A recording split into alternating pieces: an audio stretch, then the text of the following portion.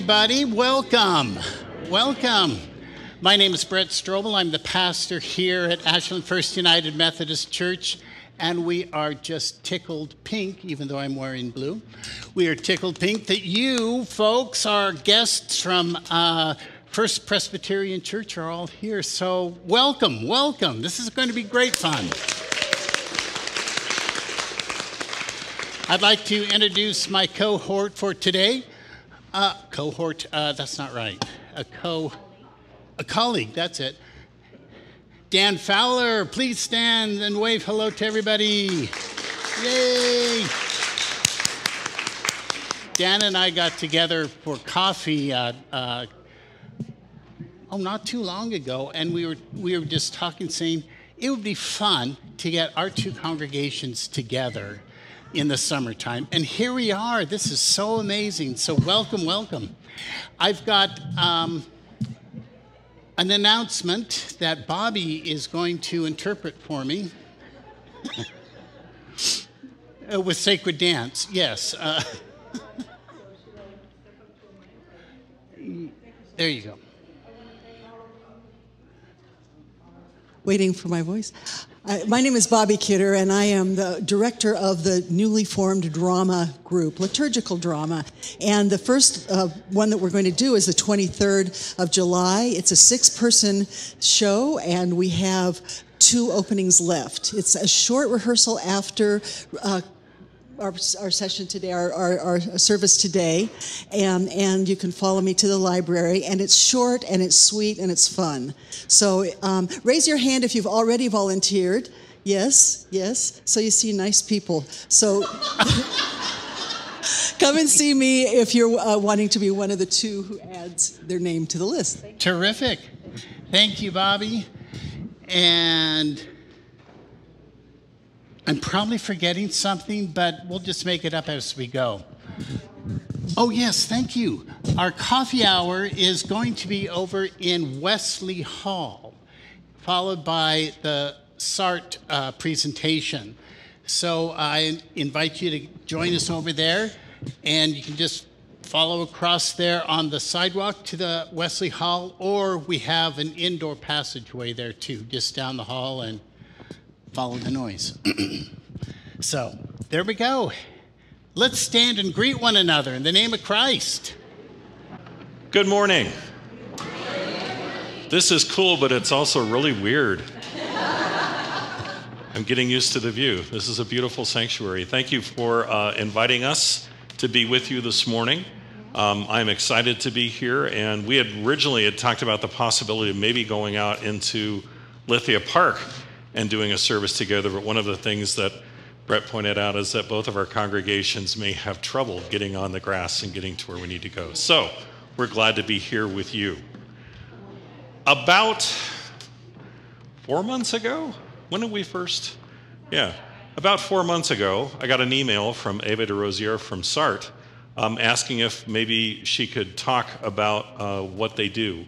And so we had coffee and um, then I thought it would be great to have what we call in the Presbyterian Church a noisy offering to support their work.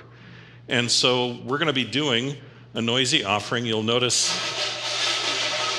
hence, hence the term noisy. However, as they say in Oh Brother Where Art Thou, folding money's just fine.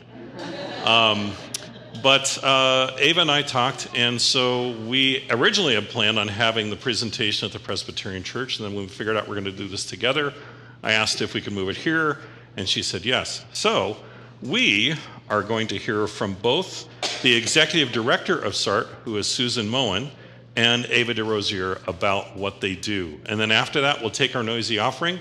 After the service and after some time of fellowship, then there'll be a presentation in Wesley Hall uh, that'll be a little more in depth. So, Ava and Susan, the pulpit is yours.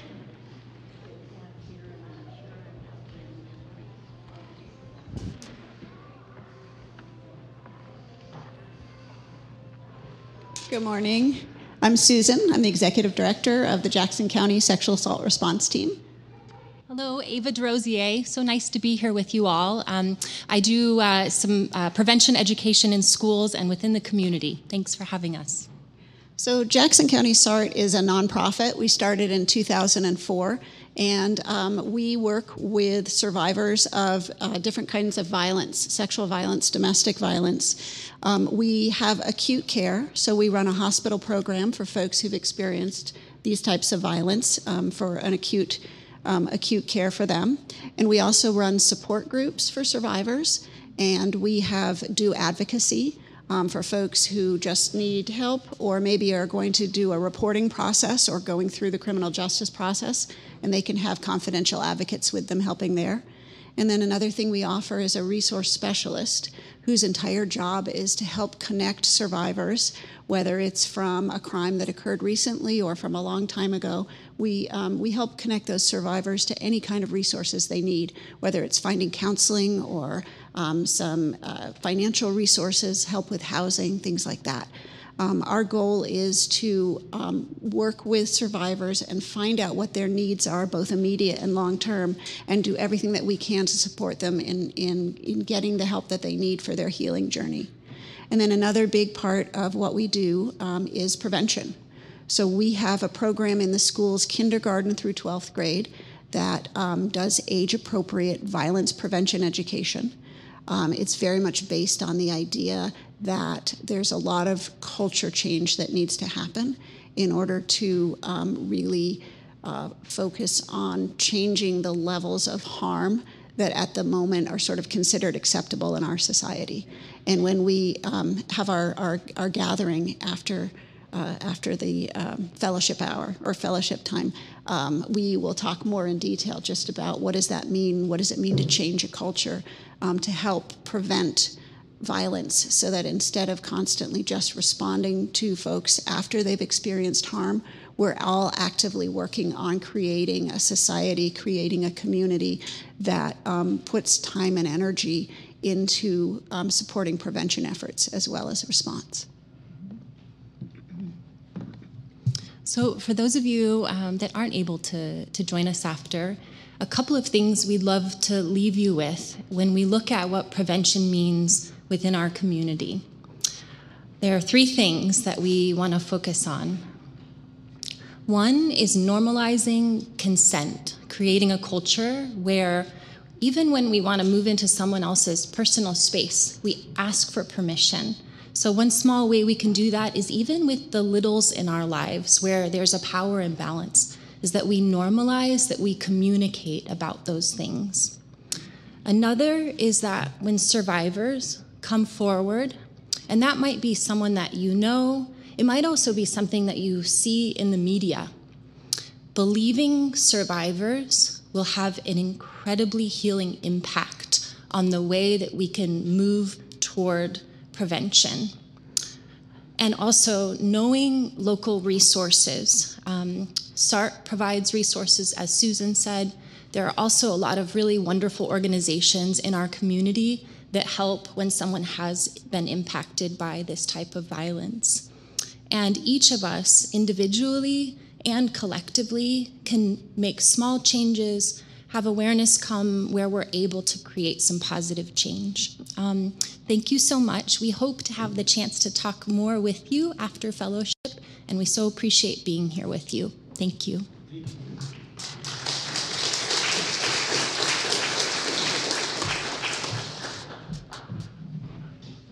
From my perspective as a pastor, that's kingdom building, making a society like that. So um, we'll ask our ushers now to go through and uh, make our offering noisy or papery. Thank you very much for giving. Good morning, everyone. I'm Paula Fowler from the Presbyterian Church, and yes, the Presbyterians are used to sitting for this part, so you have to forgive us. and what a joy it is to be here all together worshiping as one body. Please join me as we read responsively the call to worship. By your words, O Lord, I can see where I'm going. They throw a beam of light on my dark path. I've, I've committed myself, and, and I'll, never turn back from, from living by your righteous order. I got hold of your book on living, and I'm never, never letting it go. It's mine forever. What a gift, and how happy it makes me. I concentrate on doing exactly what you say. I always have and always will. Wahoo!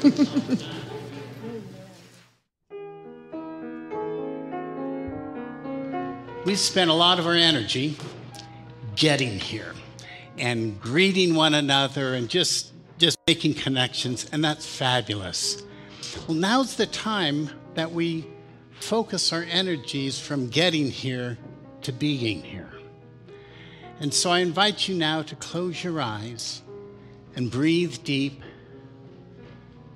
and imagine your spirit centering itself in this time and in this place.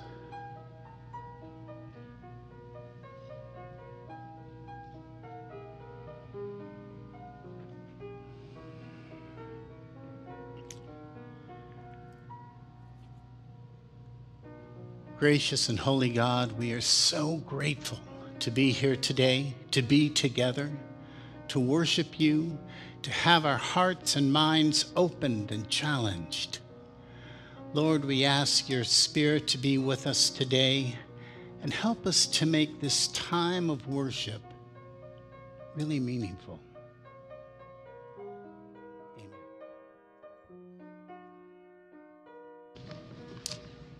Our gospel reading this morning comes from the book of Matthew, chapter 11, verses 25 through 30. At that time, Jesus said, I thank you, Father, Lord of heaven and earth, because you have hidden these things from the wise and the intelligent and revealed them to infants. Yes, Father, for such was your gracious will. All things have been handed over to me by my Father, and no one knows the Son except the Father, and no one knows the Father except the Son, and anyone to whom the Son chooses to reveal him. Come to me all you who are weary and are carrying heavy burdens, and I will give you rest. Take my yoke upon you and learn from me, for I am gentle and humble in heart, and you will find rest for your souls. For my yoke is easy and my burden is light. This is the word of the Lord for which we give thanks.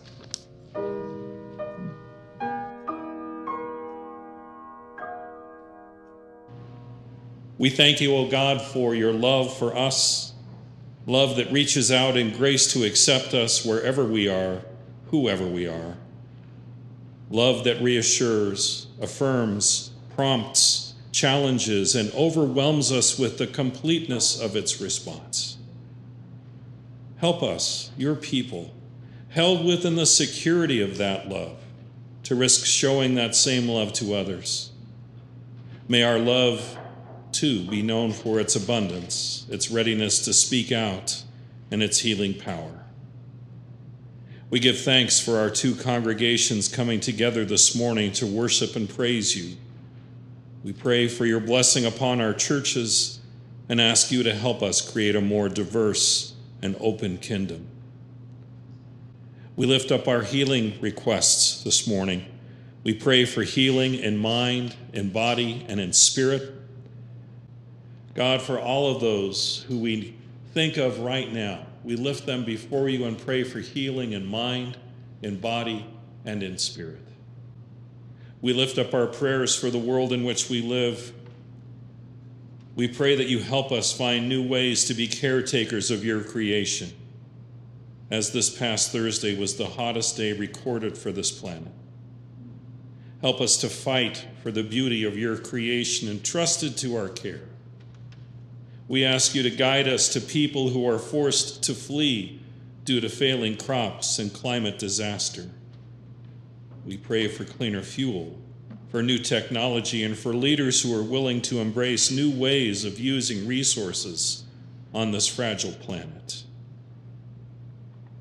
We lift up this morning the people of Pakistan who are struggling through severe flooding, and more than 50 have died, and many are displaced. We ask for war to end. Especially, we lift up Ukraine this morning. We pray for peace, for leaders to negotiate a fair and just peace. We pray for many who have lost sons and daughters in this war. We pray for the unhoused community and for those who work to help them.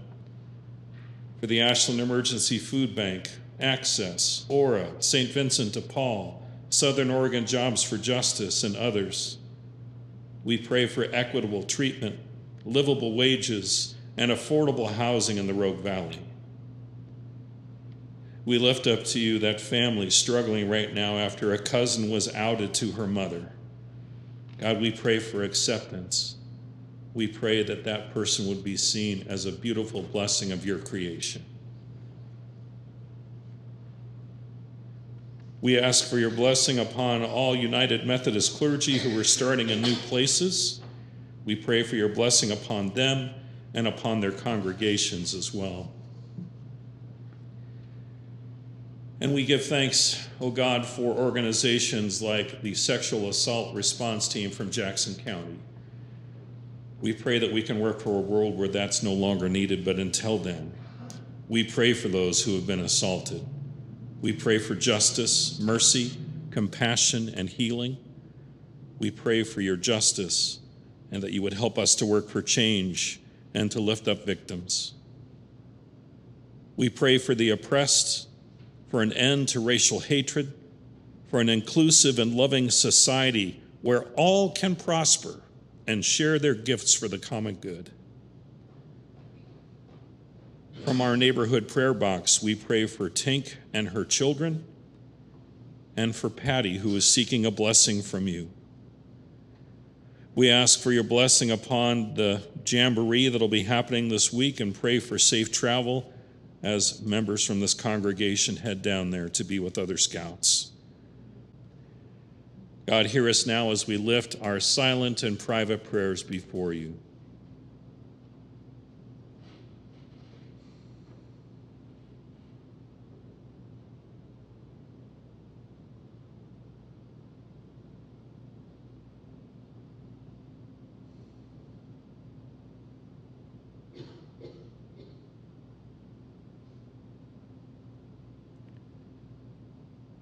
We pray all of these things in the name of Jesus, who was and is and is to come, and who taught us to pray together, saying, Our Father, who art in heaven, hallowed be thy name. Thy kingdom come, thy will be done on earth as it is in heaven. Give us this day our daily bread, and forgive us as we forgive those who trespass against us. And lead us not into temptation but deliver us from evil. For thine is the kingdom, and the power, and the glory forever. Amen. High towering mountains, fields gold with grain, rich fertile farmlands, flocks on the plain, homes blessed with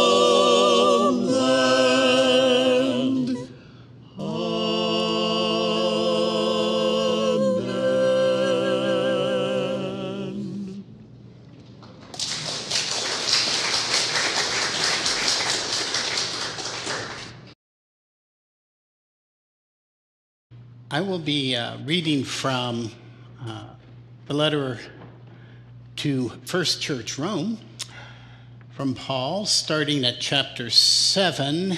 I'll start with verse 15. I do not understand my own actions, for I do not do what I want, but I do the very thing I hate. Now, if I do what I do not want, let me say that again. If I do what I do not want, I agree that the law is good. But in fact, it is no longer I that do it, but sin that dwells within me. For I know that nothing good dwells within me, that is, in my flesh. I can will what is right, but I cannot do it. For I do not do the good that I want, but the evil I do not want is what I do. Now, if I do, this almost sounds like an Abbott and Costello routine, doesn't it? Now, if I do not do what I want, it is no longer I that do it, but sin that dwells in me. So I find it to be a law that when I do what is good, evil lies close at hand. For I delight in the law of God in my inmost self, but I see in my members another law at war with the law of my mind, making me captive to the law of sin that dwells in my members. Wretched man that I am, who will rescue me from this body of death? Thanks be to God through Jesus Christ our Lord.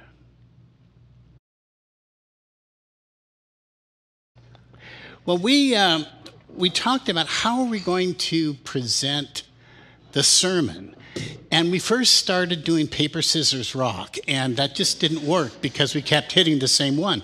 So we decided let's have a conversation. And then, towards the end of our conversation, as we kind of unpack uh, the, the scripture and some of the images that sparked our imaginations, we're going to open it up to you to ask us questions. So, um, oh, yeah. So, I'm going to let you go. What do you think of that one from Paul? Well, sure. so it was interesting when we talked about this particular passage. Paul, for the most part, uh, the veneer is on. You don't hear a lot about Paul's struggles. You get a lot of Paul's teaching. But this is one example when Paul really struggles. He struggles with the sin that is within him and the, the grace that is there. And it's one of those very few moments where you get kind of Paul being real. Most of the other time, it's just a lot of theology packed into a paragraph. So um, we kind of came up with the idea that there are about three or four spots in this passage that we want to talk about. And the first one is the idea of sin. Uh, the word in Greek for sin is hamartia.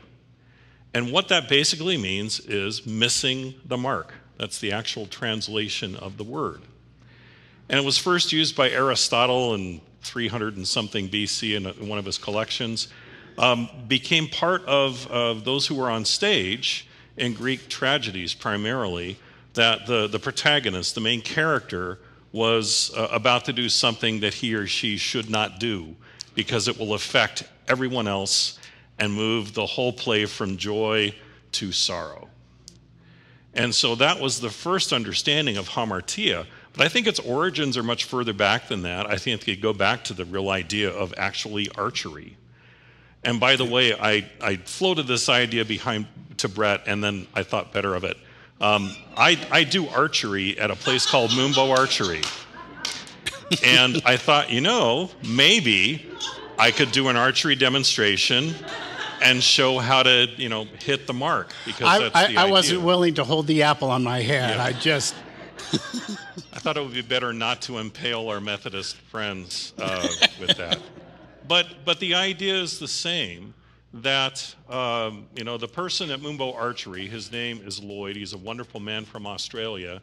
He puts targets in front of us all the time, and they're all different targets. Sometimes they're the very standard uh, white, black, yellow, red, uh, round targets. Sometimes they're a, a giant rubber bat flying. Um, we have balloons. We have all kinds of different things. But when Lloyd puts those targets out, his expectation is that we'll hit them. God is the same way.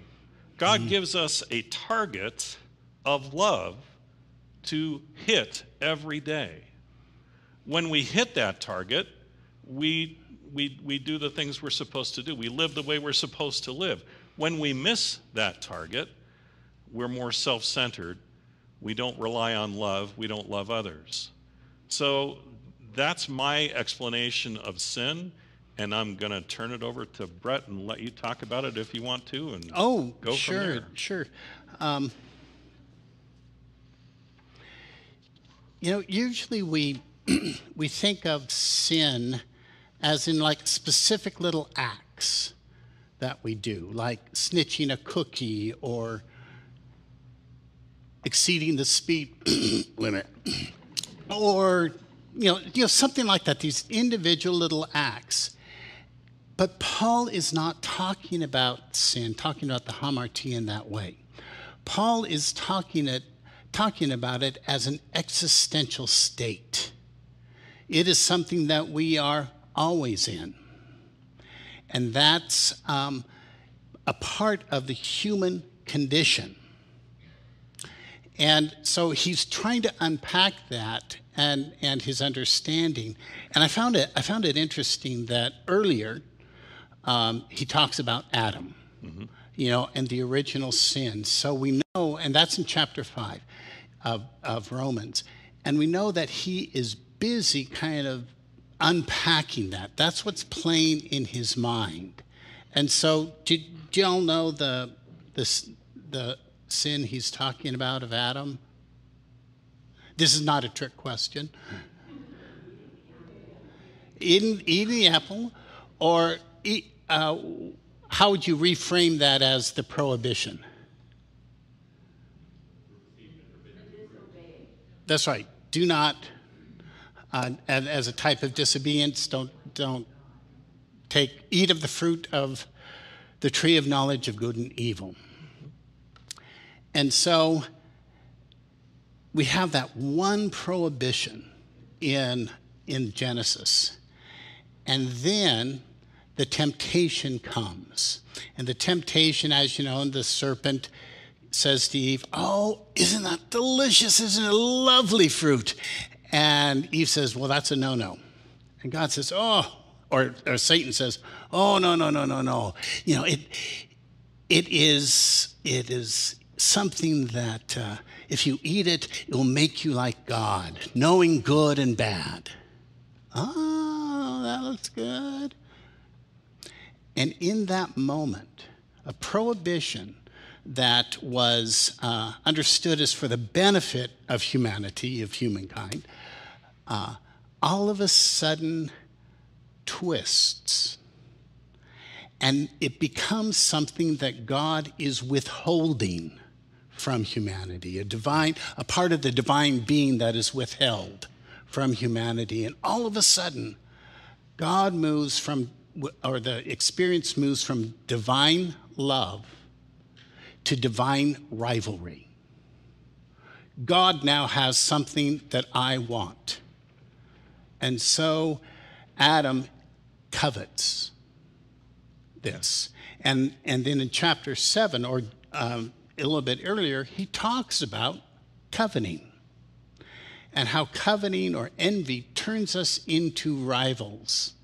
And in, and in my thinking, um, when I'm talking about sin, it, it, you see the, the development from um, you know, envy to rivalry to animosity to enmity. And so there, there is a movement from divine love to now becoming enemies. And that is the state that we find ourselves in, caught between both divine love and enmity. And this, and by the way, when I talk about enmity, you know what I'm referring to? Enmity is about my ability to be an enemy to another. And that's different from saying, oh, there, I have enemies out there. Rather, it's saying, when am I an enemy to another person? And, um, and rivalry feeds into that. We are constantly in the state of rivalry. And, and, and that's what Paul says. is, The law is good, it's great, it's brilliant.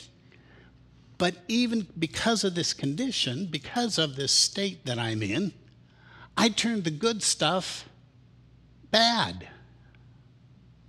And I don't want to do that, but I end up doing it anyway. Vey. All right, so to continue the idea of law and sin, uh, Paul talks about law, and we'll get into that in a little bit. But there's a really interesting thing that happens a chapter before, in chapter 6.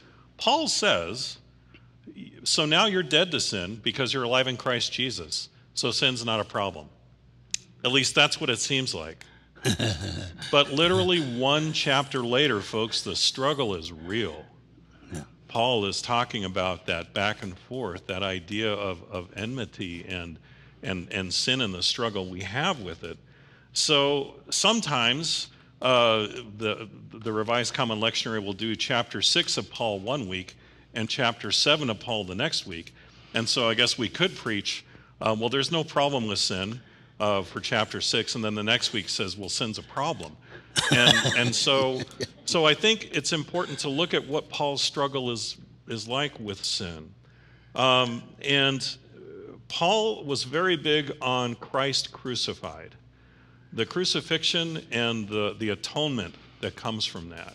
So for Paul, he believed that we always have access to God, access to grace, because of the atonement. And so that's a big piece for Paul. Um, I know not everyone's comfortable with the atonement and the atoning sacrifice. That's something I struggle with, uh, but I hold it in mystery and I still believe it points to grace. And so, uh, from my perspective, the idea is that grace is always accessible to us. Therefore, when we are sinning, when we are in enmity with one another, we have that option to always be able to turn things around and it's always there. Um, the analogy that comes to mind I had a friend who told me that uh, they were back in, in the South, in Mississippi, at a habitat build. And one of the women from the habitat group went into a cafe. She wanted to have a authentic Southern breakfast. So she goes into the diner, she sits down, and she orders eggs and ham and uh, toast and a cup of coffee, a little a cup of fruit. Don't steal my thunder. Don't steal my thunder. and so she sits down and orders that and waits, and 10 minutes later, it all comes back, and then there is this big bowl of steaming grits. And she looks at the, the wait staff and says, Excuse me, ma'am, I, I didn't order this. And she said to her, Honey, in the South, grits just comes grits is like grace. Grace just comes. Yeah. So, in that part in chapter 6, when Paul seems to say we don't have any trouble with sin, we do, but grace is always, always there. And that's, that's the illustration I think that if Paul were here today might make, although I'm not sure. Uh, but, but it means that God is always for us. God always loves us. God always cares mm-hmm. for us. And even if we keep missing the target, like my friend Lloyd from Australia, he would keep putting that target back up, and God says, That's okay. Here's another one. Try so, it again. Try yeah. it again. Yeah. Now, we wanted to talk uh, just briefly, you know, because the issue of law comes up a lot, uh, mm-hmm. especially in this passage. But Paul uses the word nomos for law in different ways. And so there are different meanings that are happening in this passage. Um, like religious precepts, we'd say that's one way. Torah, that was translated into the word law.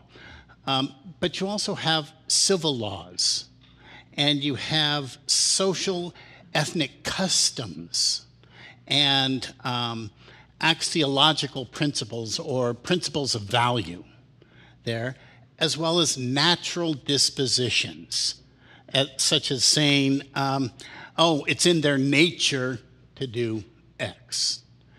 And nomos, that one word, is used in those different ways. And we see that uh, happening in Paul's writing. That's why he talks about the law of sin. You know, um, that being the human condition that he's talking about in there. And, um, and so sometimes it's hard to narrow in on when Paul is talking or, or referring to Torah. Espe- and, and I think this has been part of the mistake of theology um, over the centuries, is that we've always assumed, or it's been interpreted, that Paul is writing to Jews. No. if you remember, Paul had an agreement that his message was to Gentiles. And Peter and the Jerusalem contingent, their message were to the Jews. And so when you read Paul, you have to put it in your head that Paul is talking to a Gentile audience. And didn't we, when we talked about this part, we were yes. mentioning that uh, Paul got thrown out of so many synagogues. After a while, they said, "No, no, no, you, you stop doing that. We're going to put you with the Gentiles." Now. so. It was an act of damage control, yeah. wasn't it? and so um, we, st- and I think what that does is that it starts to help us listen to Paul differently. Because if Paul is just talking about Torah and the law, then we can read Paul at a distance because we don't have Torah as a part of our daily life. But if he's talking about something else, customs, um, or rituals, or values, all of a sudden our ears need to perk up and saying, How is, how is that directed towards me? And so Paul Paul, uh, like I, I agree. I think this is probably one of the most poignant parts of Paul yeah. when he just says, I try my best and it's not good enough. Yeah, I always mess it up. I think that's so poignant because I think every person here can relate to that. And so he's asking, what am I going to do? What am I going to do? What do we do? Are we in the midst of existential angst? Or is there a liberation that's coming? And Paul sees the liberation in Christ. Yeah. Thanks, Pete. That's great. And and this this are actually our being in the pews and worshiping and laughing together and praying together and singing together and all of the togetherness is remarkable because 150 years ago, there was an intense rivalry between Methodists and Presbyterians. you know, when, when, when they came over. In, in Oregon City, um, there were, were two flour mills one was owned by a Methodist, the other was owned by a Presbyterian. Huh. And um, so the Methodists would take all of their grain to the Methodist one, and then the Presbyterians would take all the grain 10 miles away to the Presbyterian mill. You know, there was just this incredible tension. And you know something? We are now the resolution of that tension into community and love. So, everybody, give yourselves a hand. Yeah. And if we have bread that's been made this morning, I'm assuming it was not made by either of those mills. So hopefully we're.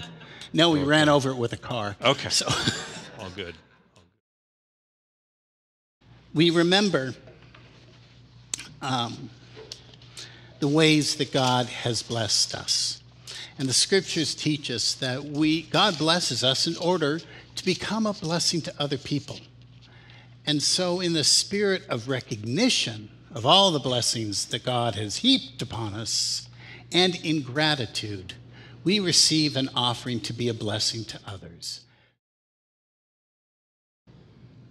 Life is like a mountain railroad with an that's brave.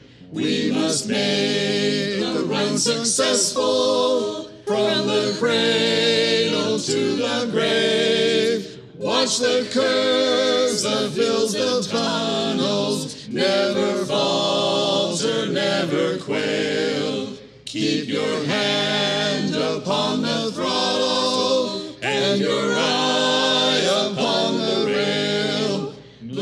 Blessed Savior, thou wilt guide us till we reach that blissful shore where the angels wait to join us in thy praise forevermore.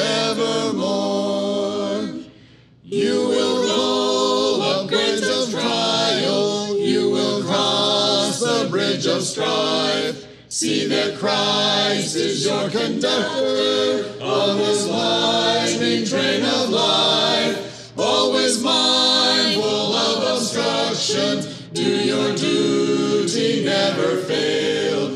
Keep your hand upon the throttle and your eye upon the rail. Blessed Savior, thou wilt guide us till we reach that blissful shore where the angels wait to join us in thy praise forevermore. You will often find constructions, look for storms of wind and rain. On a fill or curve or trestle, they will always ditch your train. Your trust alone in Jesus, never falter, never fail. Keep your hand upon the throttle and your eye upon the rail. Blessed Savior, thou wilt guide us till we reach that blissful shore where the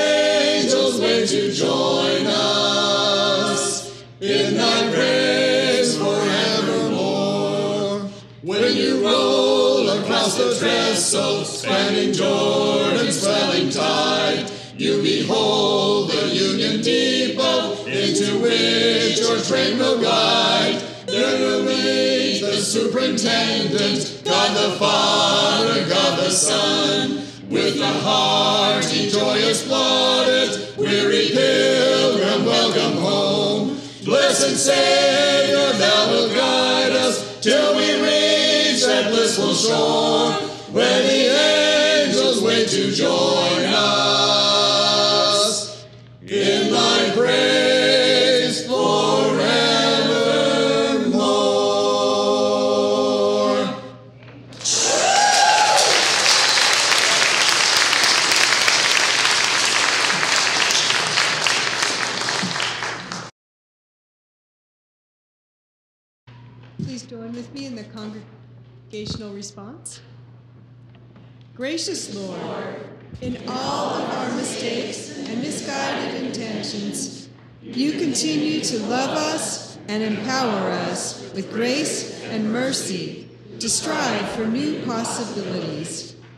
May our desires and choices match your hope for us. Amen. Now I invite you to turn around and reach out and hold your neighbor's hand. We're trying to make a suggestion of a circle or a snake or one of those things.